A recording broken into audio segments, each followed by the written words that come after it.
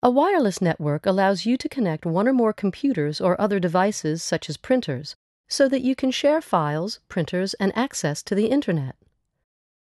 Unlike a wired network, in which you use Ethernet cables to connect devices to the network and communicate between them, a wireless network uses radio signals. This freedom from cables gives you great flexibility when using your network connected devices.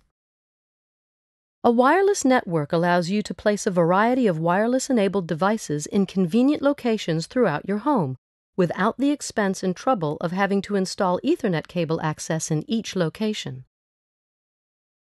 Freedom from cables also allows you to move devices, such as your laptop, from room to room and remain connected to the network as long as you are within range of your wireless router's signal. The most essential elements of a wireless network are the wireless router and the modem.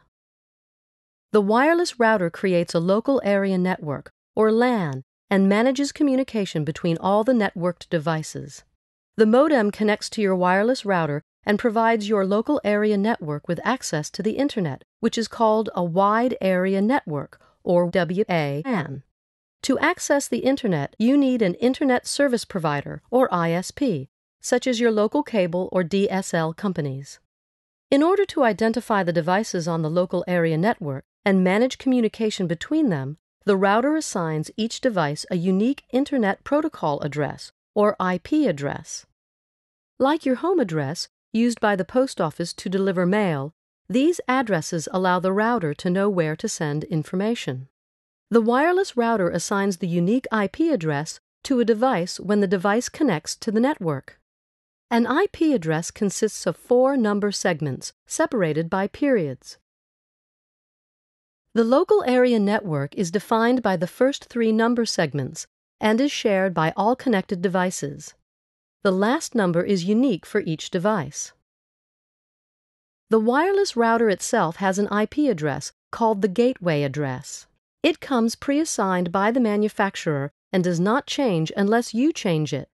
When you set up your wireless router, you have the opportunity to give your network a unique name, different than the default name provided by the manufacturer and different from other networks in your area. A unique network name makes it easy to identify your network when you try to connect a wireless device to it. It also keeps you from mistakenly joining another network with the same name. Be sure to record your wireless network name because you'll need it when you connect wireless devices to your network. You'll also need the network password, which you create when you set up your network security.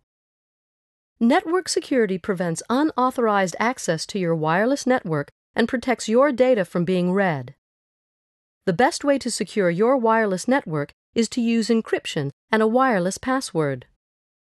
When you enable encryption, all your network's wireless communication is scrambled or encrypted so that the data cannot be read by anyone not connected to your network. Encryption also requires you to select a password. A device cannot connect to your network without knowing the password. Be sure to remember your network password because you will need it, along with the network name, to connect devices to your network. The encryption methods commonly available are WEP, WPA, and WPA2. WEP is an older standard and is now considered to be the least secure method. Older network products may only support WEP. WPA is more secure than WEP, and WPA2 is the most secure. Whenever possible, use WPA or WPA2 encryption. For more information about wireless networking, important tips, and troubleshooting information, see HP's Wireless Printing Center website www.hp.com slash go slash wireless printing.